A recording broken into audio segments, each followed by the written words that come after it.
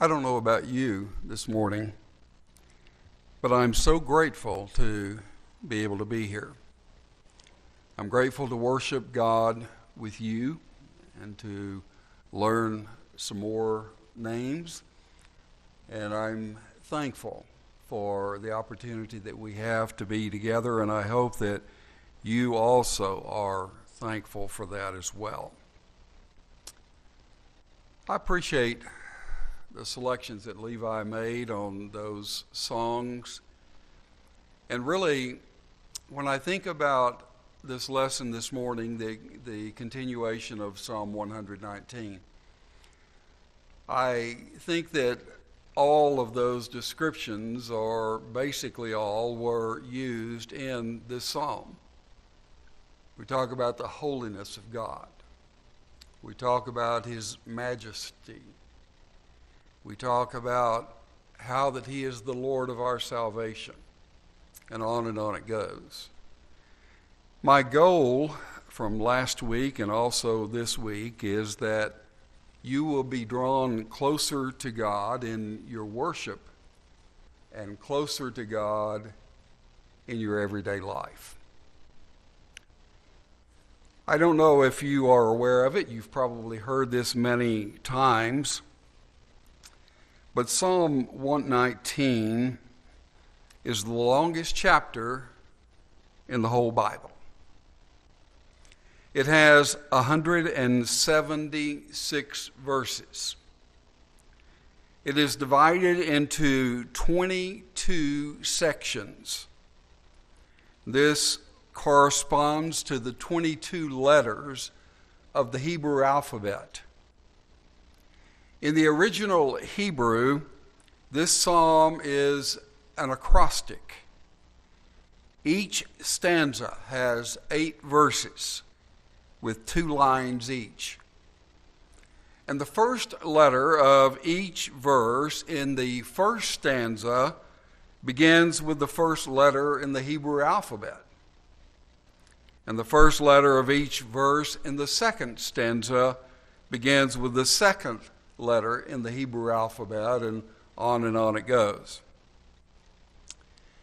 There was an old German version of the Bible that placed the following description at the head of Psalm 119. This is the Christian's ABCs of the praise, love, power, and use of the Word of God. People are continually searching for a spiritual high, an emotional narcotic to quiet the pain of their aching and often monotonous lives. But the psalmist declares that our spiritual highs will be commandments and precepts statutes, ordinances, and as God's Word translation says, regulations as well. I'll be showing the reading from Psalm 119, verse 81 through 112 you, on the screen, and you can follow me there, or you can look at your own version if you would like. Notice that I have put up eight verses at a time. So we'll be reading one stanza uh, of that this chapter at one time. My soul is weak from waiting for you to save me. My hope is based on your word. My eyes have become strained from looking for your promise. I ask, when will you comfort me? Although I have become like a shriveled and dried out wineskin, I have not forgotten your laws. What is left of my life? When will you bring those who persecute me to justice? Arrogant people have dug pits to trap me in defiance of your teachings. All your commandments are reliable. Those people persecute me with lies. Help me. they almost wiped me off the face of the earth, but I did not abandon your guiding principles. Give me a new life through your mercy, so that I may obey the written instructions which came from your mouth. O Lord, your word is established in heaven forever. Your faithfulness endures throughout every generation. You set the earth in place, and it continues to stand. All things continue to stand today because of your regulations, since they are all your servants. If your teachings had not made me happy, then I would have died in my misery. I will never forget your guiding principles because you gave me a new life through them. I am yours. Save me because I have searched for your guiding principles. The wicked people have waited for me in order to destroy me, yet I want to understand your written instructions. I have seen a limit to everything else, but your commandments have no limit. Oh, how I love your teaching. They are in my thoughts all day long. Your commandments make me wiser than my enemies because your commandments are always with me. I have more insight than all my teachers because your written instructions are in my thoughts. I have more wisdom than those with many years of experience because I have obeyed your guiding principles. I have kept my feet from walking on any evil path in order to obey your word. I have not neglected your regulations because you have taught me how sweet the taste of your promise is. It tastes sweeter than honey. From your guiding principles, I gain understanding. That is why I hate every path that leads to lying.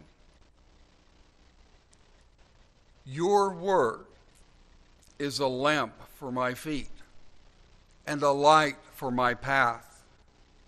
I took an oath and I will keep it. I took an oath to follow your regulations, which are based on your righteousness. I have suffered so much. Give me a new life, O Lord, as you promised.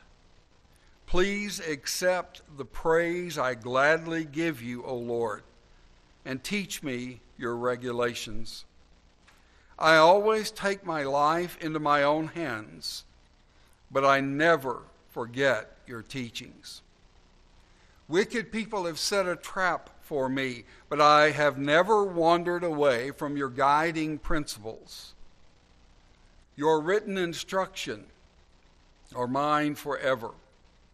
They are the joy of my heart. I have decided to obey your laws. They, they offer a reward that never ends. You know, in reality, the, the Bible must be our standard equipment in life. When gold was discovered in California in January 1848, people made a mad rush for the West. The Postal Service devised a way to send mail overland. And the first overland mail arrived in Los Angeles in May 1848. And it was believed to have been mailed in January of that year. I don't know in, in my looking that up if that was a joke or that was real.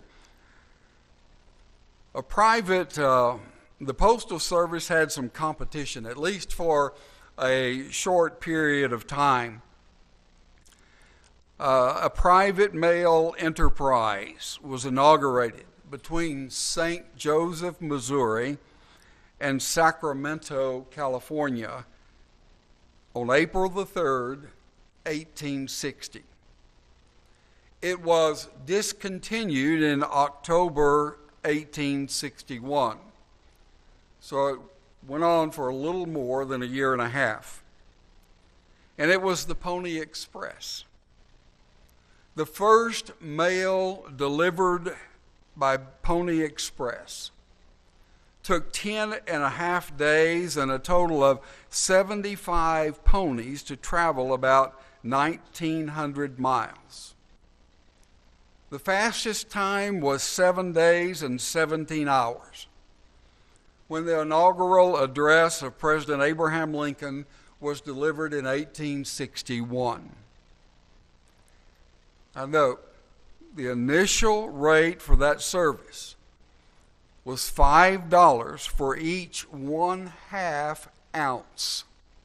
Remember, this is 1860s. But that was later reduced to $1, I'm sure, when they were about to go out of business.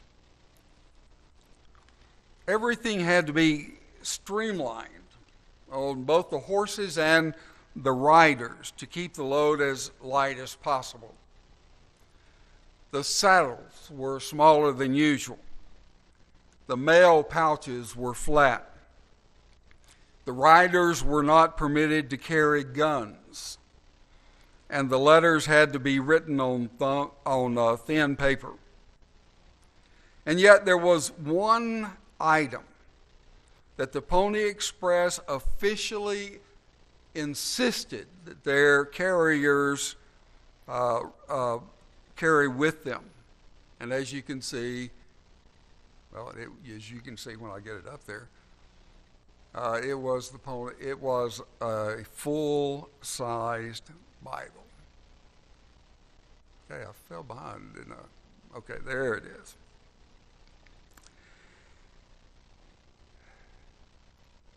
Each writer received his Bible when he signed on with the Pony Express.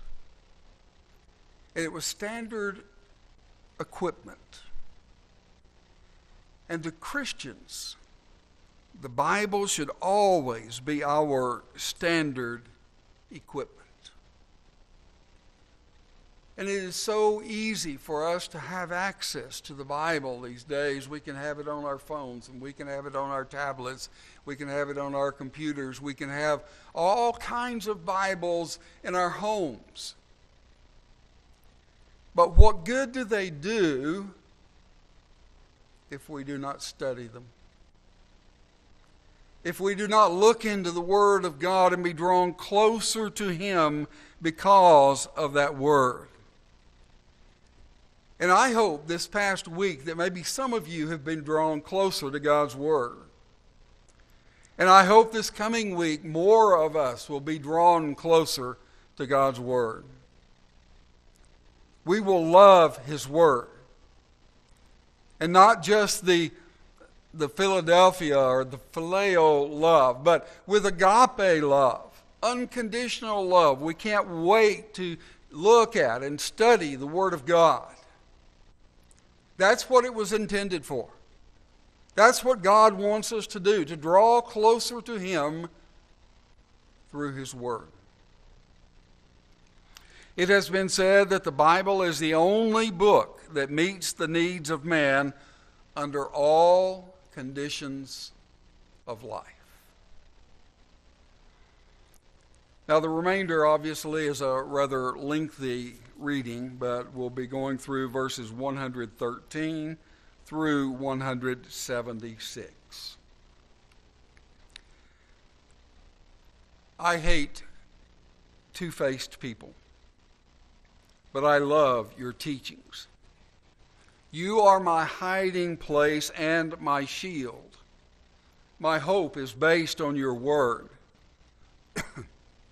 Get away from me, you evildoers so that I can obey the commandments of my God. Help me, God, as you promised, so that I may live. Do not turn my hope into disappointment. Hold me, and I will be safe, and I will always respect your laws. You reject all who wander away from your laws because their lies mislead them. You get rid of all wicked people on earth as if they were rubbish. That is why I love your written instructions. My body shudders in fear of you, and I am afraid of your regulations.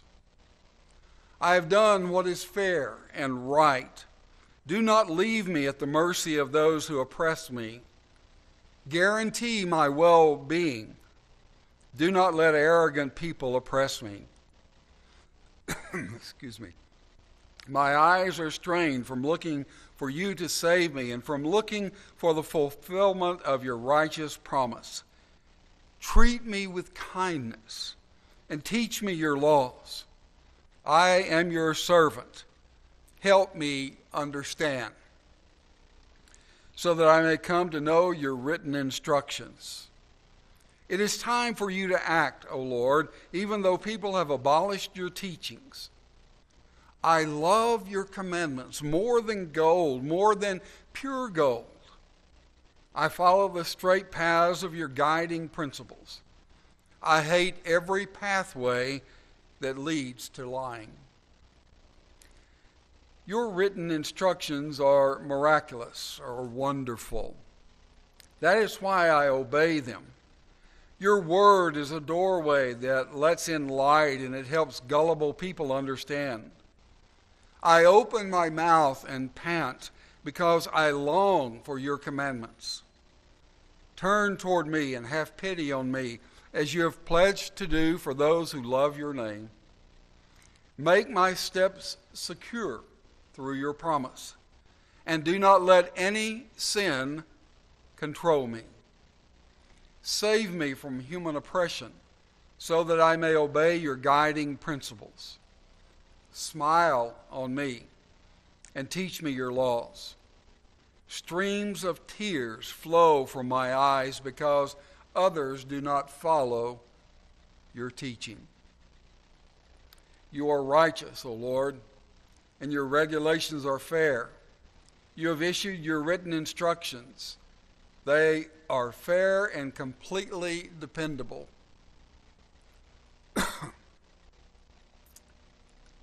my devotion for your words consumes me because my enemies have forgotten your words. Your promise has been thoroughly tested, and I love it. I am unimportant and despised, yet I never forget your guiding principles. Your righteousness is an everlasting righteousness, and your teachings are reliable. Trouble and hardship have found me, but your commandments still make me happy. Your written instructions are always right. Help me understand them so that I will live. I have called out with all my heart. Answer me, O Lord. I want to obey your laws. I have called out, Save me, so that I can obey your written instructions. I got up before dawn and I cried out for help. My hope is based on your word. My eyes are wide open throughout the nighttime hours to reflect on your word. In keeping with your mercy, hear my voice. O Lord, give me a new life guided by your regulations. Those who carry out plots against me are near, yet they are far away from your teachings. You are near, O Lord, and all your commandments are reliable. Long ago, I learned from your written instructions that you made them to last forever. Look at my misery and rescue me because I've never forgotten your teachings. Plead my case for me and save me. Give me a new life as you promised. Wicked people are far from being saved because they have not searched for your laws. Your acts of compassion are many in number, O Lord. Give me a new life guided by your regulations. I have many persecutors and opponents, yet I have not turned away from your written instructions. I have seen traitors, and I am filled with disgust. They have not accepted your promise. See how I've loved your guiding principles. O Lord, in keeping with your mercy, give me a new life. There is nothing but truth in your word, and all of your righteous regulations endure forever.